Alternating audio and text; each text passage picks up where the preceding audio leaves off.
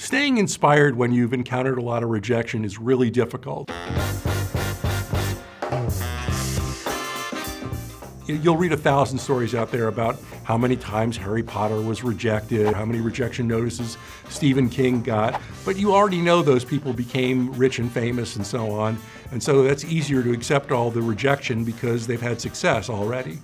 I think you have to decide what you want to do is write and therefore you're successful already whether anybody's buying it or not. Someone at Central Coast Writers Conference said, rather than saying I'm a writer, say I write. Use the verb rather than the noun, and I thought that was good advice.